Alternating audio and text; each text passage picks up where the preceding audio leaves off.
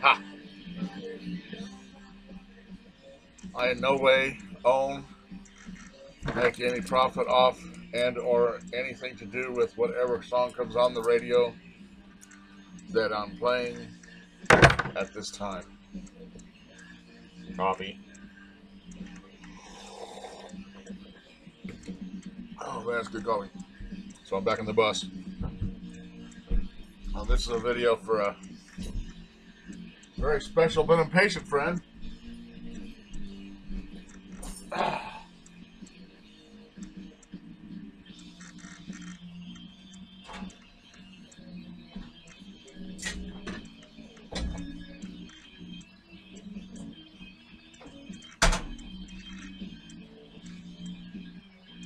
So when I do these uh, quilts out of uh, jeans and stuff, right?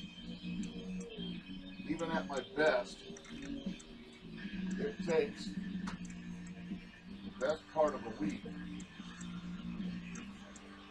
get the bad boys done.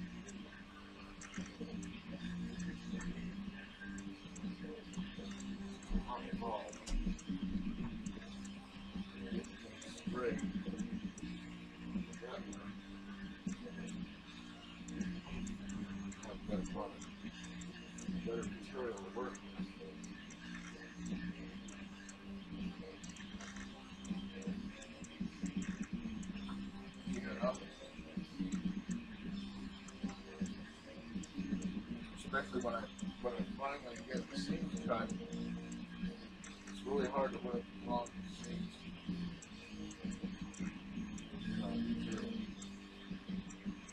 You quilt fabric are actually a, quite a labor of love. See, there's the radio. And uh, the reason I pay so much attention to detail, I hope you can hear me, is that, you know, a tenth of an inch here, turn that radio down, I bet you're not hearing me. And uh, quarter of an inch there, by the time you end, you're off two, three inches, and it never works out. So I really got to pay strict attention to detail, especially in this phase. Because what did I say a long time ago? And I got a couple of videos um, pending. I've just been having a you know, rat's ass attitude. Uh, you know, but things are looking up for me and this and that. So I'm starting to really, and this has got to pay off. It's more fun than sitting around watching YouTube. Did I say that? Can't see you, can? Anyway, so I got to get these seams straight. And I've developed a process to where I can skin them. This is what I call skinning.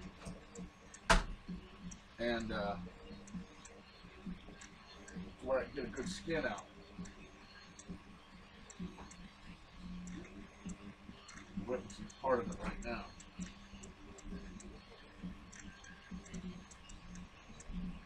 I'm telling you, I could probably patent this process to get, you know, the, the max material out of a pair of old jeans that one can manage.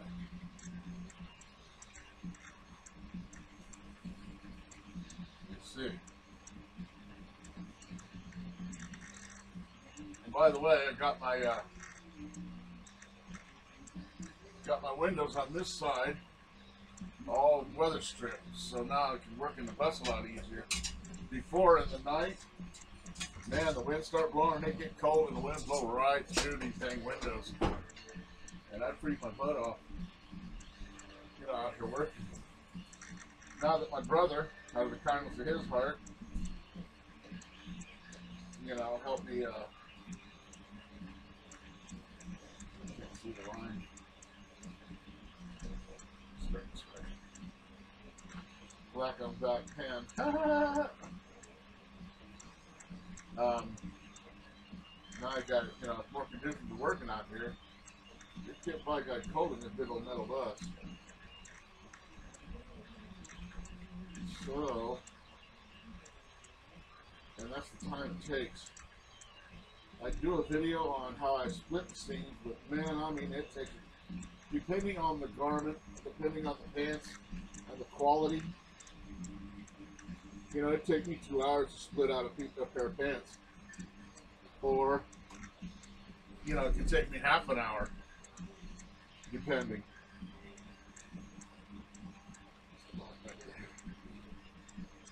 Everything has to be straight.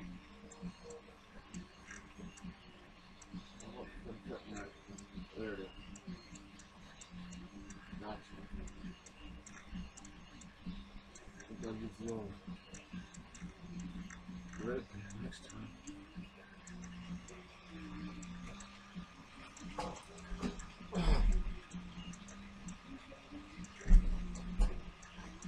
So this is me at work in the old Rupert the Magic Bus. That to be red. Then another thing, gotta make sure I strip all the string out. That's another sign of a quality pair of, you know, pair of jeans. And yes, I absolutely destroy these jeans, and some, a lot of them can be reworn. But I vowed, you know, to get rid of the uh, sentimentality of, oh, look at my jeans. Once they hit, once they hit Rupert the Magic Bus, they're done. No, otherwise I'd never be making anything. So, you got a bunch of jeans that you don't want to throw away, but you can't wear.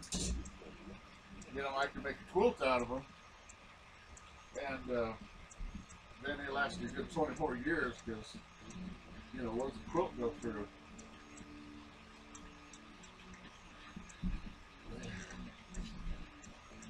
This takes a lot, a bit of time. I don't mind it because, you know, I got that bit to do it's fun, and, you know, it challenges my mind. You know? And, uh, wow, this is challenging. See what I mean? Black Betty. I used to have a bike motorcycle called Black Betty. Tell you what, if I wasn't doing 90, I was at a stop sign on that bike. I love that bike. I'd like to get me another bike. I don't know if that's in the cards. You know?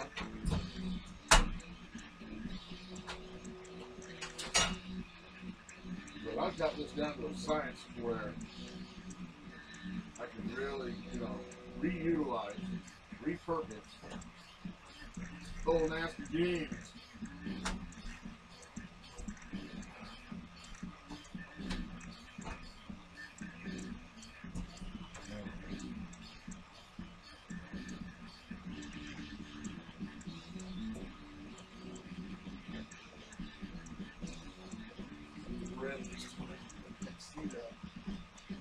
Another, another thing, boy. Sunlight on this side. Coming in here like that. Absolutely slays me.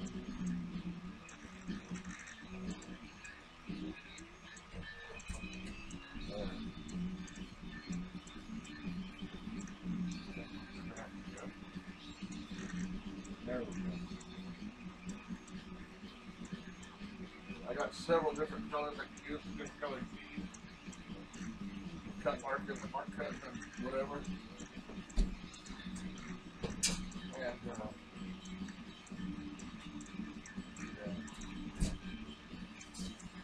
there it is.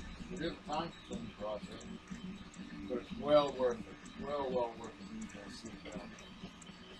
Because, uh, you know, I'm making heroin. I'd like to get my kids.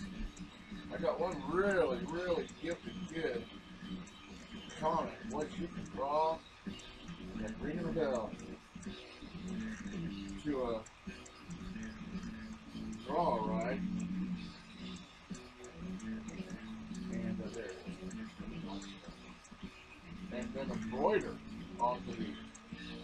With my wife Debbie, she uh, was real good at embroidery. But you know, you know how it is. This year pursued a lot more things than you did. People think they got to go by the norm and do this and that. But society tells them anything else is something you shouldn't be doing. And, you know, we waste a lot of humanity, a lot of brains, and a lot of, you know, just because someone says so and they're just going to make a buck off of it. There.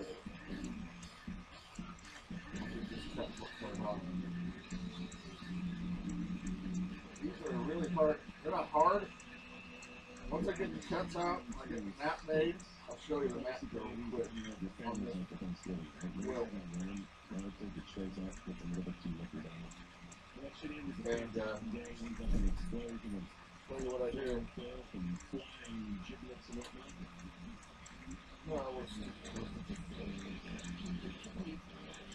Also, the thing is, if I make a little bit of a mistake, it's a quilt. Who cares? So there it is.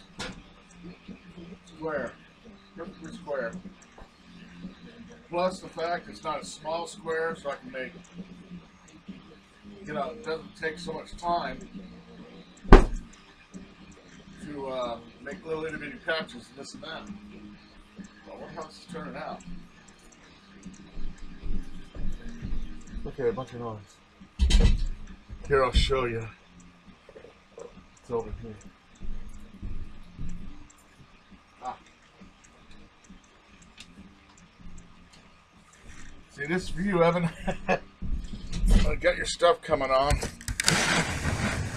There we go. See, these are the maps I make. You know, because I got to get a centerpiece, and that that judges the whole quilt. And then you do your trim according to whatever centerpiece. I'll show you the centerpiece. They wanted this centerpiece. See? This was a nightmare to strip. To skin this pair, man, I went through hell. But since this is my centerpiece and it has like 46 inches, and then I got to come out to uh, 60, that determines, you know, the whole thing. So like I say, you know, the first cut is the deepest. And that's how I do it. Simple, quick. Yeah, got a third eye going. and, uh, but it's time consuming. So, there it is. The map to your quilt, buddy, right there. We'll have it done probably in the next two or three days, and then I'll start on another one. And uh, as you go, you get better. Block the sun. Okay, lots of sun on the back. Anyway, as I go, you get better and this and that. So that's what's going on in Rupert the Magic Bus. Then after this quilt, dude, I'm going to have to start making some uh, rag rag.